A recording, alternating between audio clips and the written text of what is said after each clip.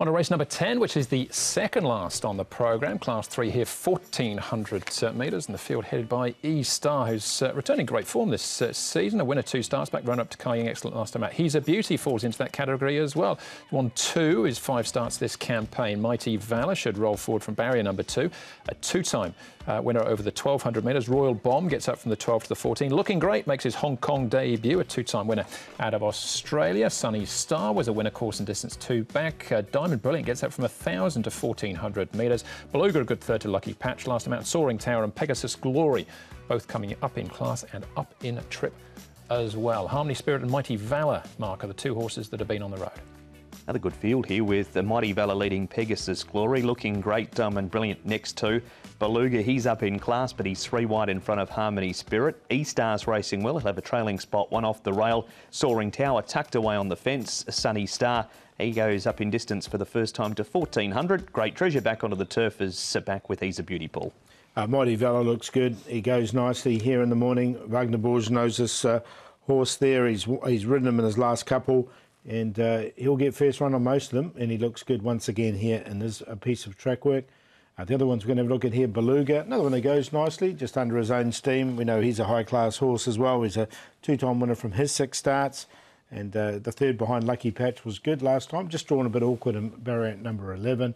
And uh, the other one we're going to have a look at here is Soaring Tower. Now, he's Another one coming in with a lightweight. He's had the two starts and run really well in both of them. One is first and just failed in the second. And he hasn't taken a backward step either. He looks good. We'll have a look at him in a moment, uh, Soaring Tower. Let's start off, though, with E-Star. Now, he generally gets back, uh, Mark, but finishes off strong. He carried a big weight on this occasion, running second to Kai Ying Excellent. He's going so well, E-Star. Andrew Neil Callan sticks with the ride again. He's ridden the horse at his last three starts for a win and two placings. Hood comes off. He carried 133 pounds into this second placing pool, so the big weight of 132 is not going to worry him. Certainly got him in the top three. He's drawn a little wider out in barrier number nine, but can't knock his uh, form at the moment. No, very consistent, isn't he? Uh, there's a quite a, there's a couple of good horses with lighter weights here, but look, he, he's going uh, consistently. Just barrier nine was a little bit query for me. Okay, what about Mighty Valor then, Paul? Also finishing second uh, here. This is behind a racing fighter, but does get barrier two. That's an advantage to him. Yeah, and I think he'll lead. Um, that's that's his normal style as well. I mean, Pegasus Glory is another one that likes to go forward. But look, if he can dictate in front, I think he's going to be very hard to beat because uh, the others will have to try and run him down, and we know he's a hard horse to get past. He has a low draw of barrier two. Now, he looked gone here at the 150. Racing Fighter was going to beat him easily. He just showed so much fight and heart in the last little bit to come back and simply lost it on the bob of the head. Can't take a backward step from barrier two because they will sweep across quickly from out wide if he leads, he's awfully hard to get past. All right, lightweight then for Soaring Tower comes up in class, uh, Mark, after winning on debut, ran second to Excellent Chariot here. He comes up in trip as well. He does indeed, and that should suit him on the way he finishes this race. Figure champ we see in an earlier race, but he closed so well. It's the best draw he's had, Paul, in three starts. He's had seven and ten prior to this race. Barry number three, 1400 should be perfect. think Mighty Valor can win, but this horse will be at him late. Yeah, he's a Quinella horse for me as well. Look, he just failed to pick up the, the winner here. It was a really good run, and uh, both runs have been very good since he's uh, been here in Hong Kong. Okay, and the first starter here looking great. His name was um, Holly Run, Kacy Fogden. Trained him in Australia, two wins the Sunshine and the Gold Coast. Is he looking great, Paul?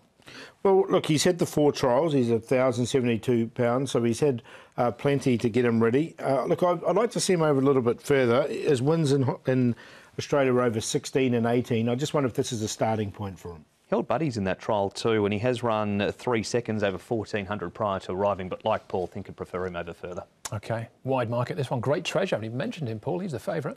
Yeah, it's really another really open race here. But I think Mighty Valor can win. He can uh, dictate in front and be uh, tough to beat. Soaring Tower will be the one coming at him late. Pegasus Glory, another one that'll be on the on the pace. He comes in with that lightweight.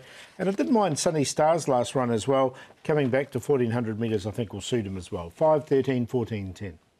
Same queue as Paul, 5.13, then a different behind them, 1 and 2 to round out the top four. Mighty Valor, he's going to be in front as long as he does jump cleanly from 2. Vagner loves to rate one in front. Fair bit of time I've got for Soaring Tower on his first two starts in the extra distance. E-Star's racing well. He's a beauty. Copped a bump at the furlong last time. He wasn't going well at the time, but before that was excellent. He's drawn 13.